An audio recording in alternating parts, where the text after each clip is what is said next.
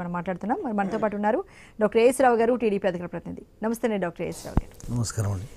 As రావు గారు మరి నిన్న చిరంజీవిని పవన్ కళ్యాణ్ కలిసిన సందర్భాన్ని చూస్తే ప్రతి ఒక్కరు కూటమి నేతలు అభిమానులు చాలా ఉత్సాహం మీ వాయిస్ కొద్దిగా లోలో వినపడుతుందండి. అవునా అండి? Okay okay. ఒక్కసారి మా పీసీఆర్ వాళ్ళని ఒకసారి చూపిస్తారు. పీసీఆర్ కొంచెం వాయిస్ పెంచండి పీసీఆర్. ఓకే అండి. అంటే కూటమి నేతల్లో చాలా ఉత్సాహం అయితే వచ్చింది. మరి ఇవాళ కాంగ్రెస్ కాంగ్రెస్ నేతల అంటే వ్యాఖ్యానాలు చూస్తూ ఉంటే నిజంగా మరి చిరంజీవి ప్రచారం వరకు వస్తారా? లేకపోతే అసలు పవన్ కళ్యాణ్ అక్కడ చిరంజీవి గారి షూటింగ్ ఎక్కడుందో అక్కడికి వెళ్ళి ఎందుకు కలిశారనుకోవచ్చండి? ఎందుకంటే వాళ్ళ ఇంట్లో కలవచ్చు ఎక్కడైనా కలవచ్చు వాళ్ళకి ఆస్కారం ఉంది అంత పెద్ద అపాయింట్మెంట్ అడిగి మరి కలవాల్సిన పని లేకపోతే అంత హరిబరిగా కలవాల్సిన అవసరం కూడా ఏం లేదు. కానీ అక్కడ షూటింగ్కి వెళ్ళి ఎందుకు కలిశారు? ఏంటి ఏం మెసేజ్ ఇవ్వాలనుకున్నారండి దాని ద్వారా? అర్చన గారు ముందుగా మీకు ప్యానల్ ఉన్న సభ్యులందరికీ కూడా ఈ ఆ, ఉగాది శుభాకాంక్షలు తెలుపుతూ అదేవిధంగా ఇప్పుడు పవన్ కళ్యాణ్ గారు చిరంజీవిని హఠావుడిగా షూటింగ్ స్పాట్లో వెళ్ళి కలవడం జరిగిందంటే చిరంజీవి గారు తన సొంత అన్నయ్య. ఎక్కడన్నా కలవచ్చు. చిరంజీవి గారు పవన్ కళ్యాణ్ గారి సొంత అన్నయ్య సొంత కుటుంబ సభ్యుడు. దానికి షూటింగ్లో కలిచారా ఇంట్లో కలిచారా ఎక్కడ కలిచారా అనేది దానికి పెద్ద ప్రాధాన్యత ఏం అవసరం లేదు. ఇంకా విషయానికి వస్తే అంటే మామూలుగా ప్రాధాన్యత లేకపోవచ్చు అండి షూటింగ్లో కలిస్తే కానీ అంటే ఈయన ఆయనకి కాళ్ళకి నమస్కారం చేయడం ఆయన తన బ్లెస్సింగ్స్ ఇవ్వడం అన్నింటికంటే పార్టీ ఫండ్ ఒక ఫైవ్ క్రోర్స్ ఇవ్వడం. ఇప్పుడు అర్చన గారు అర్చన గారు ఇక్కడ ఏంటంటే ఎన్నికల్లో మేము కూడా పోటీ చేస్తాం.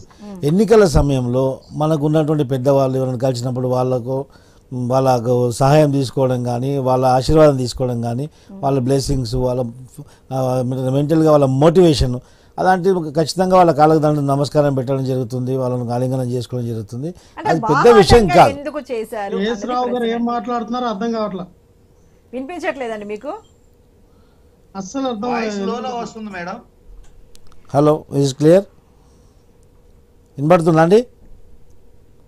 ఓకే ఒకసారి మరి వాయిస్ చాలా ఉందండి మీది. ఓకే అండి ఓకే ఓకే. మేమైతే మామూలుగానే మాట్లాడుతున్నాము జనరల్ గానే ఇప్పుడు హలో. ఇప్పుడు సెట్ చేసామంటున్నారు. వినిపిస్తోందండి ఇప్పుడు? ఓకే. ఓకే. మనమైతే బ్లాంక్ చేయలేము. ఇప్పుడు జనసేన అధ్యక్షుడు ఇప్పుడు ఓకేనండి? ఆ, ఇప్పుడు జనసేన అధ్యక్షుడు పవన్ కళ్యాణ్ గారు పవన్ కళ్యాణ్ గారు చిరంజీవిని కలవడము షూటింగ్ స్పాట్లో కలిచారా ఇక్కడ కలిసి పెద్ద ప్రాధాన్యత లేదు. కాకపోతే ఇక్కడ ఏమైపోయిందంటే ఏ చిన్న అంశం జరిగినా కానీ వీళ్ళిద్దరు ఆదర్థం చూపిస్తున్నారు. అదే కాకుండా ఒకరి పైన విమర్శించే ముందు ఏం విమర్శిస్తున్నామో మనం విమర్శిస్తే అదే విమర్శ మన పైన కూడా వస్తుందని ఆలోచించుకొని కాంగ్రెస్ నాయకులు. కాంగ్రెస్ చేస్తున్న తప్పే అది. ఎందుకంటే వాళ్ళు తవ్విన గోతులు వాళ్ళే పడుతున్నారు. ఏ విధంగా అంటే ఈరోజు చెప్పారు.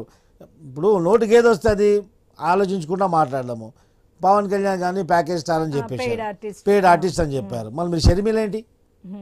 మీ షర్మిల ఏంటి? మీ విజయమ్మ ఏంటి? వీళ్ళంతా పేడ్ ఆర్టిస్ట్ కింద కౌంట్ వస్తారు కదా మరి? జనాలు చూడట్లేదా? ఇప్పుడు చిరంజీవి గారు మీ మీ యొక్క కాంగ్రెస్ నాయకుడు అని మీరు అంటున్నారు కదా. మళ్ళీ మీ నాయకుని తమ్మునికే మీరు ఇలా మాట్లాడొచ్చా? ఏం మాట్లాడుతుండ్రు? జనాలు మనల్ని చూస్తున్నారు. మనం మాట్లాడేది జనాల్లోకి వెళ్తుంటుంది. జనాలు మనకి ఏం ఆలోచించుకుంటారు మనం జనాలు పిచ్చోవాలనుకుంటున్నామా లేకపోతే జనం మనల్ని పిచ్చోవాలనుకుంటారా అది ఆలోచించుకొని మాట్లాడాలి? అది మన తెలియకుండా ఇష్టం వచ్చినట్టు మాట్లాడితే విమర్శించడం చాలా ఈజీ. ఆ విమర్శించిన తర్వాత వచ్చే పరిణామాలు అనేది దాన్ని సర్దిద్దుకోవడం అన్నిసార్లు కుదరదు. అదే జరుగుతుంది. కాంగ్రెస్ పార్టీ మొదటి నుంచి చేస్తున్న తప్పే అది. ఇప్పుడు పది సంవత్సరాలు అయిపోయింది. ఓ దశాబ్దం పాటు అయిపోయింది కాంగ్రెస్ పార్టీ అధికారం కోల్పోయి. కాంగ్రెస్ పార్టీ అధికారంలో ఉన్నప్పుడు కాంగ్రెస్ పార్టీలో ఉండి చిరంజీవి. పది సంవత్సరాల నుంచి కాంగ్రెస్ వైపే చిరంజీవి పోలేదు? అట్లంటే ఇప్పుడు జగన్మోహన్ రెడ్డి ముఖ్యమంత్రి అయిన తర్వాత దాదాపు నాలుగు సార్లు జగన్మోహన్ రెడ్డి ఇంటికి వెళ్ళి కలవడం జరిగింది చిరంజీవి గారు. చార్టెడ్ ఫ్లైట్లో సపరేట్కి వెళ్ళి వేరే వేరే అంశాలపైన పోయింది. కొన్నిసార్లు రాజ్యసభ ఇస్తున్నారు చిరంజీవికి అని కూడా పుకార్లు వచ్చాయి. అలాంటప్పుడు ఏం చెప్తారు? జగన్మోహన్ రెడ్డికి మా పార్టీలో పార్టీలో చేయనంతని చెప్తారా? జగన్మోహన్ రెడ్డికి అనుకూలంగా వ్యవహరిస్తారు అనుకున్నా ఇలా ఎందుకంటే నిజానిజాలు తెలుసుకోకుండా మనం ఏదో నోటుకొచ్చింది వాగితే ఏమైందంటే ప్రజల్లో రాంగ్ మెసేజ్ పోతుంది. తెలియట్లేదు కానీ కాంగ్రెస్ పార్టీ అధికారంలో లేదన్నటువంటి విషయం అందరికీ తెలిసిందే.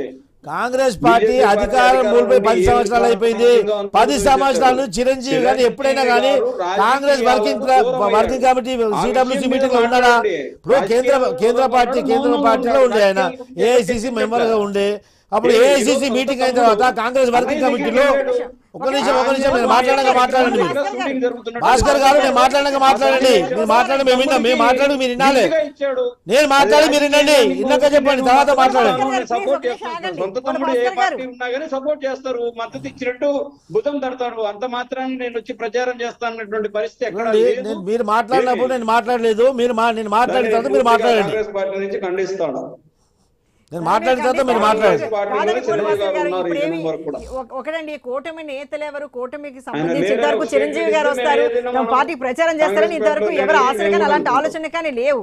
నిన్నైతే ఎప్పుడైతే కలిశారో అలా స్పెషల్గా కలిశారు ఆశీర్వచనం అందుకున్నారు ఆయన పార్టీకి ఫండ్ కూడా ఇచ్చారు.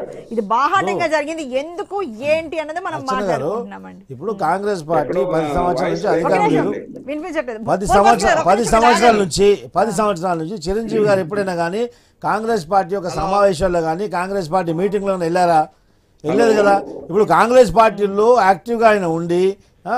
యాక్టివ్గా ఉండి ఆయన మీటింగ్లో ఉండి కాంగ్రెస్. కార్యక్రమాల్లో పాల్గొని ఉంటే. ఈ రోజు వాళ్ళకి ఏం చేసుకో రైట్ ఈజ్ అవర్ లీడర్ అని చెప్పేసి ఆ కాంగ్రెస్ పార్టీలో సస్తమాలు ఏడా రాజకీయాల్లో దూరంగా ఉన్నాడు రాజకీయాల నుంచే దూరంగా ఉన్నాడు. ఆయన ఏ రోజు కూడా నేను పలానా పార్టీకి మద్దతు ఇస్తా అని చెప్పలేదు లేకుంటే ఏ.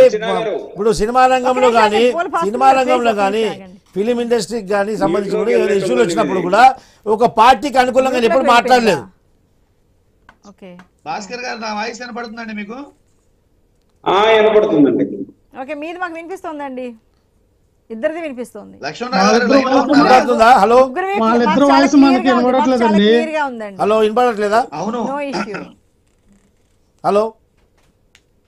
మీవైతే మాకు చాలా క్లియర్గా ఉన్నాయి వినపడుతుంది లక్ష్మణ్ గారు? లక్ష్మణరావు గారు వినిపిస్తోందండి?